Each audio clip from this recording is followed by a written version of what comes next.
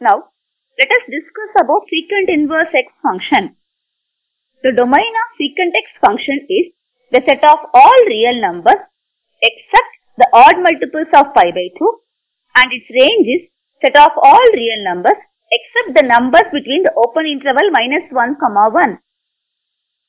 If we restrict the domain of secant function to closed interval 0 comma pi except the value pi by 2, then it is 1 to 1 and on to with its range as a set of all real numbers minus the open interval minus 1 comma 1.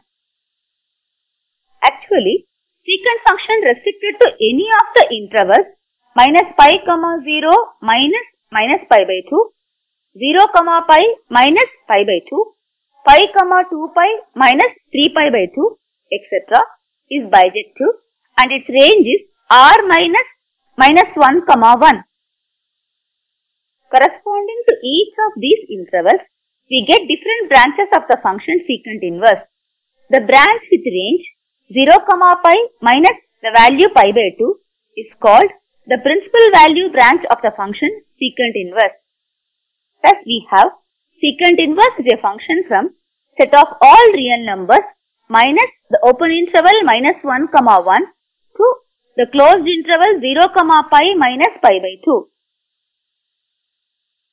These are the graphs of y is equal to secant x and y is equal to secant inverse x functions. The dark portion of the graph of y is equal to secant inverse x represents the principal value branch.